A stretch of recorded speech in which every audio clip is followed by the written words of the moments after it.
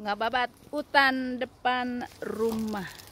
Hutan belantara. Hmm. ada hantunya. Ini dia cuma segini doang kok so tuh ini hutan tuh hutan pinus.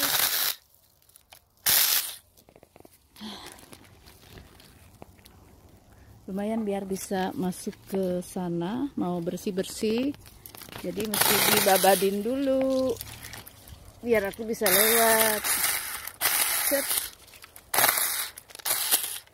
ini teh sakit juga kalau kena muka nih. Ini kecil-kecil kecil-kecil bukan sembarang kecil. Tapi tajam bo tajam. Eh banyak yang lewat no. Biar bisa ngintip. Dari balik hutan bisa ngintip bo ngintip-ngintip.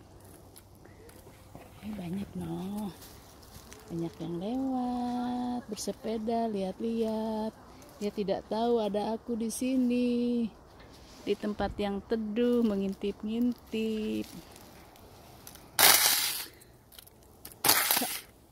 Dah mau lanjut. Hari ini babat utang